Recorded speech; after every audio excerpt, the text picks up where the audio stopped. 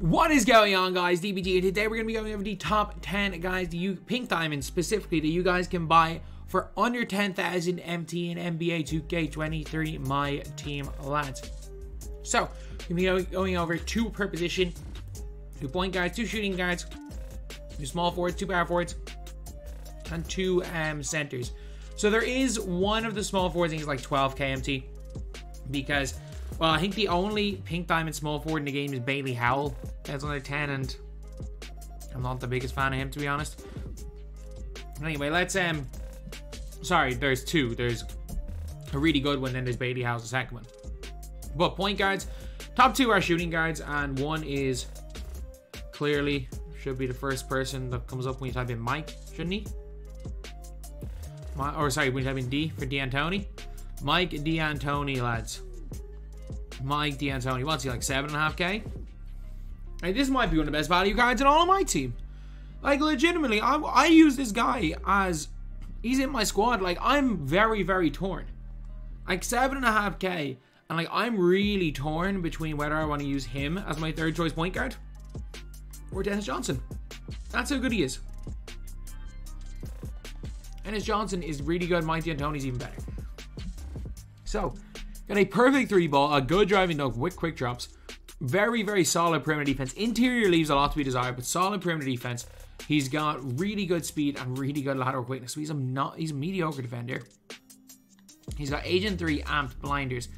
Uh, guard of limitless range, climb picker, quick first step. Steph Curry release with a better upper, even faster than Steph Curry's. I'm telling you, lads, this card is a beast. Mike D'Antoni's a beast. And a guy who I actually ran through 250 are these the best two point guards under 10? No. Um, I would definitely put Penny Hardaway Amethyst above one, arguably both of these guys. But the fact that you guys can get um, Jaden Ivey for seven and a half K. And when you're looking at Jaden Ivey, you're looking at a guy who is who's an 85 3 ball, great driving done, good dribble style. His jumper is a, leaves a bit to be desired. Solid defense, unbelievable speed, unbelievable lateral and he's just gonna be more dunking, less shooting version of D'Antoni. His ability to shoot from deep is a bit iffy. I have really struggled with him for well for having like a range. It doesn't help. Um, and range can he, can he only even hold range? It doesn't look like it. Um, but a really good dunker, really good defender, really good player build, six four. So I'm telling you, like he's better than I thought he was gonna be, but he is in here. Shooting guards, uh, we've got Kevin Huerter first. Kevin Huerter is a beast. Guys that didn't make this list are um like Jason Richardson and Andre Iguodala. Those are the guys that didn't make the list. I think they might be the only two that didn't make it. Um, but Kevin Huerter is a beast, probably around nine-ish KMT. Um, did I accident? I hit triangle there, didn't I? Kevin Huerter, color pink diamond. He's around nine-ish K, there or thereabouts. Um, but what you're getting with Kevin Huerter is you're getting a really, really good shooter. He's got good dribbling. He can dunk pretty well. He's a solid defender. He's actually a good defender. And got really okay speed. Good lateral. The speed's a little bit if is probably the most iffy thing. But what you're getting is a fantastic shooter who's a really nice defender and can handle the ball a little bit if needed with the normal leaner on quick and a release that's super easy to green. It was like what last year's Trae Young was. Um, Kevin Herder is still one of my He's still one of my underrated, slept on shooting guards. I wouldn't actively use him. But there was a part of me that wanted to use him in my 250k quals. So for under 10, you can't really complain. And this guy being under 10, I completely forgot about it, is Andre Iguodala. Because obviously everyone getting him from, from the limited packs, um, or a lot of situations, Iggy's cheap. But Andre Iguodala, he can't shoot. That's one of the problems. You can get him for an 8k. His release is very slow. And I can't shoot, like he's like a, a poor shooter. He's, he can hit when he's wide open, but he's at 30 golds, 10 hops. Fantastic defender. I, I get it, he's got 93 ball. It's just a release. 95 driving dunk, perfect defense, perfect speed, perfect lateral. If he had even a mediocre release, I would have him way above Huerter, and he's probably my shooting guard. If he had a mediocre release, he's probably in over Mikal Bridges. Um, but his release is poor, but still for AKMT, he is a steal. Small forwards, I mean, there's one obvious one who is way out in front. As far as small forwards go, it is Nick Batum. Nick Batum's really cheap. And like Nick Batum's not the worst player in the world. He's not the best. Don't get me wrong. Like you're getting looking around seven and a half k again for Nick Batum. But if you want to look stats wise and compare him to say Scotty, like they're very comparable in terms of inside ball handling. Batum's is better at everything passing wise, but again, passing IQ doesn't matter. Defensively, you might be saying, "Oh, there's a there's a big difference," but like it's only really in steel. They're very comparable defensively and speed. Like these guys are really comparable in game stats wise. You got clamp breaker, anchor, blinders, challenger, clamps, glove on Batum. You got gold range. So like if you're actually looking at stats and badges, I'm not gonna lie, Batum is in he's in my team as a backup. But like if you're looking stats and badges wise, Batum is very comparable to Sky. He is. He is. It's just with Batum when it comes to Batum, you're looking at a guy can't play shooting guard and a bad release. Which is a little bit of a which is the annoying thing because Batum's release was god tier. Like Batum for years had base 40, which always was one of the best catch and shoot releases in the game, one of the easiest catch and shoot releases in the game to green. And this year's Batum release, I just don't know how I feel about it. He also doesn't have a good leaner, which is another bit of a problem. Or that's one of the pros. It's one of the pro leaners. I mean, it's okay if you're going away from ball hand. Problem is, is that when you're with these leaners, to get the good animation, you're going away from ball hand, but then you're also getting the limitless shot, which is really hard to hit on a fade. So, like, it can be an effective mid-range fade, but for me, he just he's a guy who stats and bat. Batum used to be a guy of animations. If you remember old years in 2K, Batum always had the best animations. So even if Batum didn't have the greatest stats or badges, he would always have a really good release. He would always have a really good um like dribbling. He had the he used to have the best behind the back in the game always. The Pro 3 one. Batum was a guy of animations, and he also used to be 6'9 in game. That is another thing with Batum. The issue is that Batum's only 6'8. If you want to use Batum in the Trey Murphy role of like a lot of people love Trey Murphy. If you want to use Batum to play defense, to hit wide open jump shots, and I honestly think he's like almost as good as Scotty. If you want to just use him as a pure cone, but his inability to really create off the dribble is what puts him a little bit off. But Batum, I think, might be one of the most slept on cards in the game, by the way. I genuinely do think he might be one of the most slept on cards. Um, but then we've got Trey Murphy. And the problem with Trey Murphy is that he's a little bit above 10k. So depending, I can get him, you can get him for 10, under 10 most of the time. He's probably 11, 12 right now. When I originally made this list, um, had this list ready to go on yesterday, he was under 10, and right now he's he's above 12, I think. He should be way under this. When I checked 10 minutes ago, he was under he was 11 900. He was 11 900 10 minutes ago. And I literally just checked this right before. Is he glitched or something? I can't I can't justify putting him on this list for 13k.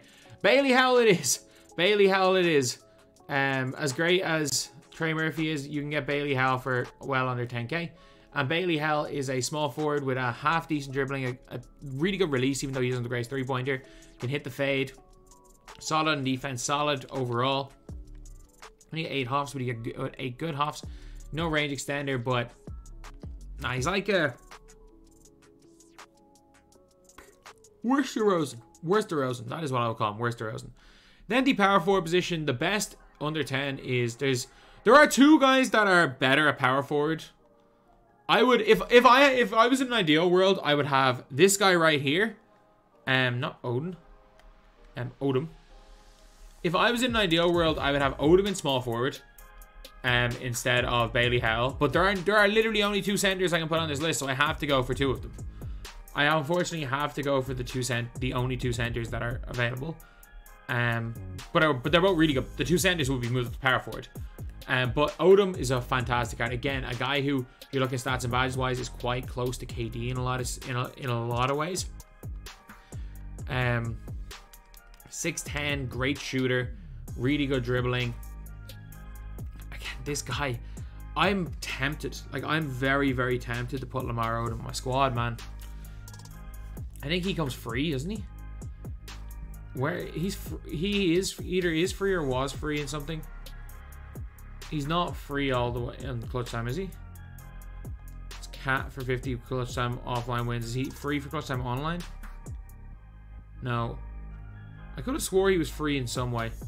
Either way, though, Odom is Odom's he's fantastic, lads. He is fantastic. If you're looking at that, I would use him as small forward, but I have to kind of put him in here as a power forward because there aren't that many power forwards. Um, there aren't that many guys left to use. Then we got Jabari Smith, who again is just just another power forward. Um, if you're looking at pink diamonds, you're not getting. They're the only power forwards you're really getting are like Amar'e, Stoudemire, and um, it's really just Amar'e and him. It's Amar'e, him, and that's about it. But Jabari Smith, solid shooter. Okay release. It's quick, but it's not the, the green. Decent dunker. Defense is okay. Would definitely rather play him a small forward, but he's not too bad. And if you're looking what I was saying, like if you're looking pink diamond power forwards for under 10,000 teeth, there are none.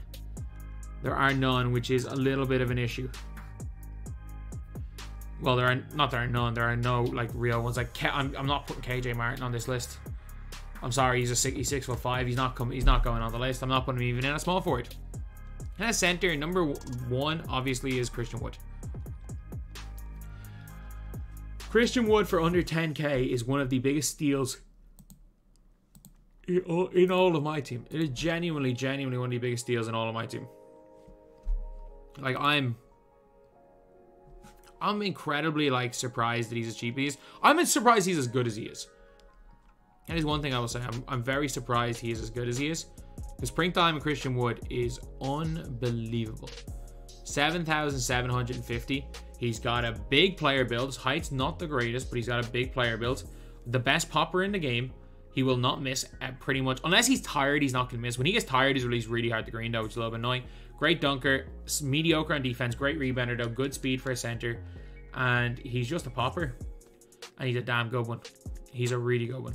And then this guy is now my backup. Like I don't like Walker Kessler. So this guy's my third choice center. Like I don't like Walker Kessler. So Bobby Portis is in. Like Bobby Portis is now my uh my freaking backup center. Or my third choice center. Wood's my backup for Oliver Candy because and like Bobby Portis, you can get you can get Bobby Portis for like seven KMT. Why did Bobby Portis? Did I click enabled? You just can't. He's obviously you just you don't you just don't search for Bobby Portis then. Pink Time Position Center, Team books, Because I picked up my Bobby Portis for like seven KMT earlier. Can you just not search him or something? There we go. I must have clicked something. I must clicked something wrong on that on the filter. But he's even cheaper. He's about a thousand MT cheaper than Christian Wood. You can get him for in the in the low seven thousands range. And we are getting out Bobby Portis, his decent player build, a really good three point shooter, a mediocre def- defender, but solid enough interior, a good rebounder, really good speed, good enough lateral. He got bully, drop stepper, masher, claymore, limitless range, Hall of Fame, as well as a bunch of golds. And by default, he's in here. Um, I just I don't like what Walker Kessler brings defensively. Bobby Portis is never going to play for me. He's only in there just because Christian Wood's going to be in there. So, uh, like, with the team I have right now, I probably will have Batum in for Luol Deng. So, this is the team I'm running with, my actual squad. Denny's too expensive to be on this list. And you're seeing Lu Batum in the squad, D'Antoni in the squad, Christian Wood in the squad, and Bobby Portis in the squad. So, like, I've got these guys in my squad. So, I'm kind of walking the walk, not just talking the talk. I will be running these guys. So that's the video. Thank you guys for watching. Please like, comment, and subscribe.